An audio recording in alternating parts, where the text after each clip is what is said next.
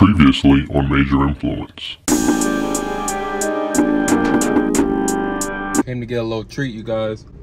In the spirit of October, I always come get a little treat. The October flavored ice cream, pretty good. I usually get the Baskin Robbins Trick Oreo treat, but that one seems to be discontinued now. And they have one with ghost peppers. I don't know why in the hell they decided to do that when Trick Oreo treat was so popular. But nevertheless, we went to Cold Stone and we got their version of Trick Oreo treat. And it's pretty damn good. It's okay if you guys treat yourself. Everything in moderation.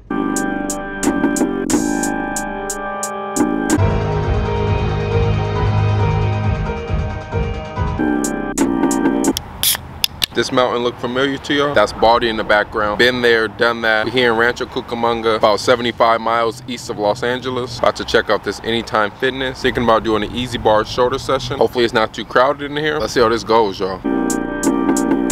All right, we're in here, you guys. There's a lot of people in here, but this is a rather big facility. It has a lot of space where you can walk around the perimeter. It's almost like the letter C. After looking at what equipment they have in here, looks like they have enough. I'm thinking about doing just an all-out shoulder day. I was going to stick with some EZ bars and dumbbells, but it looks like they have some machines as well that I can utilize. So I'm gonna take you guys through a shoulder day. Might not be much talking just because there's a lot of people in here and they're playing music pretty loud. We're in like a little, I guess you can call this like a little studio. They have weights in here. I could, if I wanted to, just do really everything in here. They have dumbbells, EZ bars, benches, bikes as you can see in the back. However, the lighting is poor in here and they have much more gym to check out. Looks like they have a projector in here too. They probably lead classes in this little secluded room. But we gonna get started, y'all. We gonna make this a heavy shoulder day, or at least heavy to me.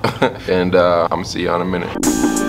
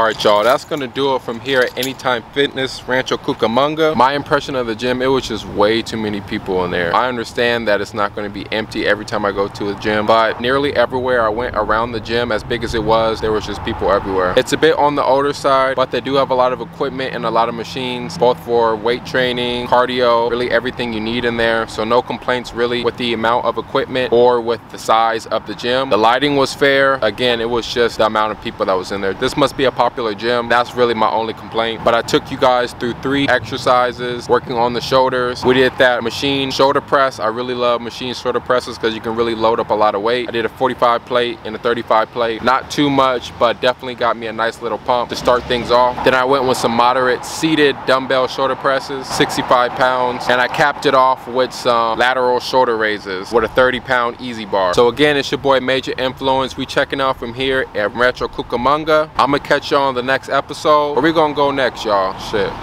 We gonna find out.